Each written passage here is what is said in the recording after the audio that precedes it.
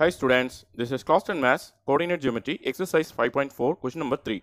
Check whether the given lines are parallel or perpendicular. Subdivision 1ல பார்த்தீங்கன்னா இந்த ஈக்குவேஷனை நான் கொஞ்சம் மாடிஃபை பண்ணி எழுதுகிறேன் அதாவது எக்ஸ் பை த்ரீ அப்படின்றத ஒன் பை த்ரீ எக்ஸ்ன்னு எழுதிக்கிறேன் அடுத்து ஒய் பை ஃபோரை வந்து ப்ளஸ் ஒன் பை ஃபோர் ஒய்ன்னு எழுதிக்கிறேன் plus one by seven equal to zero okay அடுத்த லைன் பார்த்தீங்கன்னா டூ எக்ஸ் பை த்ரீன்னு கொடுத்துருக்காங்க இல்லையா? இது வந்து two by three X plus Y by டூன்றத one by two Y plus one by ten equal to ஜீரோன்னு எழுதிக்கிறேன்.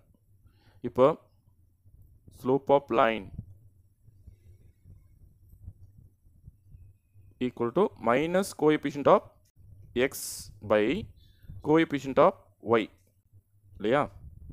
ஸோ அதாவது இது ஏ இது பி இங்கே இது ஏ இது பி ஓகே நான் இங்கே இதோட ஸ்லோப்பை வந்து m1 எடுத்துக்கலாம். M one equal to minus A by B அதாவது minus coefficient of X by coefficient of Y இங்கே பார்த்தீங்கன்னா கோஎபிஷியன்ட் ஆஃப் எக்ஸ் பார்த்தீங்கன்னா one by three so minus ஏன்றதுனால minus one by த்ரீன்னு எடுத்துக்கலாம் பை கோஎபிஷியன்ட் ஆஃப் ஒய் பார்த்தீங்கன்னா one by four that is equal to minus one by three அப்படியே இருக்கட்டும். இந்த one by four வந்து ரெசிப்ரோக்கல் ஆக்கி மல்டிப்ளை பண்ணும்போது ஃபோர் பை ஒன்னு வந்துடும். Then minus one into four minus four three into one three அதாவது M one equal to minus four by த்ரீன்னு கிடைக்குது.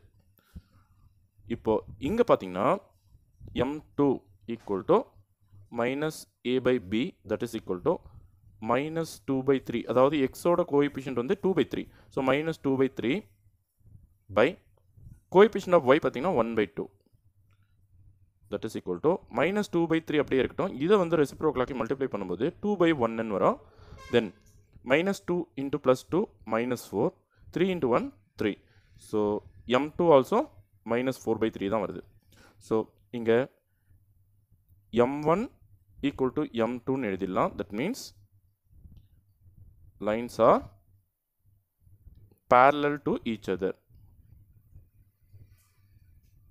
okay அடுத்து சப்டிஷன் டூவில் பார்த்தீங்கன்னா five X plus twenty three Y plus fourteen equal to ஜீரோன்னு கொடுத்துருக்காங்க. இது வந்து சப்டிஷன் டூ அடுத்த ஈக்குவேஷன் பார்த்தீங்கன்னா twenty three X minus five Y plus nine equal to ஜீரோன்னு கொடுத்துருக்காங்க. Slope of line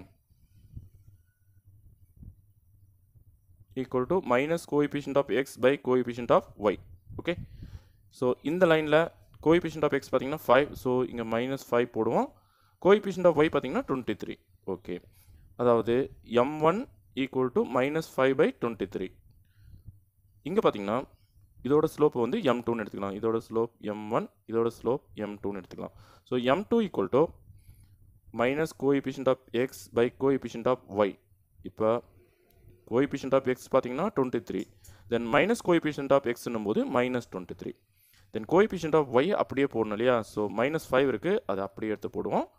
தென் மைனஸ்க்கு மைனஸ் கட் பண்ணிட்டோம்னா டுவெண்ட்டி த்ரீ பை ஃபைவ்னு கிடைக்கும். அதாவது M two equal to twenty three by five இப்போது M one into M two பண்ணோம்னா minus five by twenty three into twenty three by ஃபைவ்னு வரும். த்ரீக்கு டுவெண்ட்டி த்ரீ கட் பண்ணிடலாம். One five is five one five is five but minus one வரணும்.